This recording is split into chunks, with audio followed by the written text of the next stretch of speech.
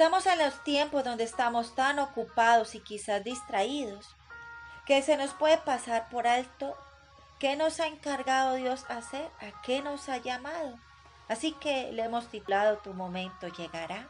Pensaba en el rey David. El rey David no buscó ser el rey David, fue Dios quien lo eligió como rey. Así que el rey David nunca estuvo buscando posiciones. Cada posición a donde fue llevado fue porque Dios lo puso allí. Lo que sí hizo David fue disponer su corazón al Señor y dejar que esa semilla que Dios había puesto en él fuera creciendo cada vez que él intimaba más con Dios. Así que tú y yo no tenemos que forzar por ocupar ningún lugar, por querer estar donde muchos quizás estén, porque ese momento llegará siempre y cuando tú y yo dispongamos nuestro corazón primero a hacer lo que el Señor nos ha encargado y lo primero es Dios.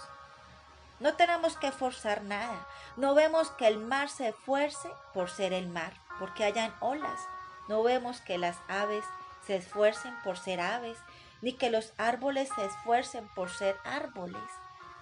Dios le da el crecimiento a cada uno y asimismo quiere hacer con nosotros. Así que me lleva a 1 Corintios 3 del 5 al 9. Cada uno debe hacer el trabajo que Dios le encargó. No importa quién planta, quién riega, lo importante es que Dios es el que hace crecer la semilla. Él es el que nos da el crecimiento en cada una de nuestras áreas siempre y cuando tú y yo hayamos dispuesto nuestro corazón para que Él haga el proceso y aquellas cosas que tiene que hacer en nuestro interior, aquellas cosas que no están bien, aquellas cosas que no nos dejan avanzar, aquellas cosas que no hemos podido soltar. Pero también nos dice que cada uno será recompensado por su propio y arduo trabajo. No dice que será recompensado por el trabajo de su amigo, no dices que será recompensado por lo que otros hagan. Nos dice que seremos recompensados según nuestro arduo trabajo, lo que nosotros estemos haciendo para Dios, con las personas que nos ha puesto a nuestro alrededor.